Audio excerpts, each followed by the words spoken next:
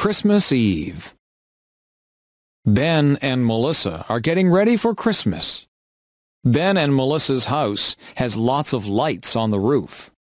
The lights are many colors. Inside, they listen to Christmas music.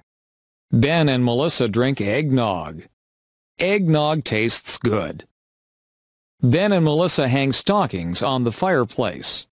They string popcorn. Ben and Melissa put the popcorn string on the Christmas tree.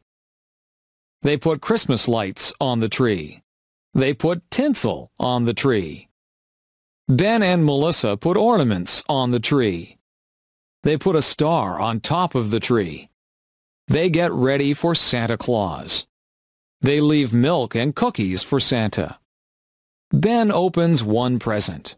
Melissa opens one present. They go to sleep. Ben and Melissa wake up early. They run downstairs. There are a lot of presents under our tree.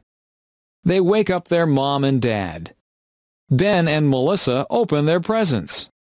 They love our presents. Everyone cleans up the wrapping paper. It is time for breakfast.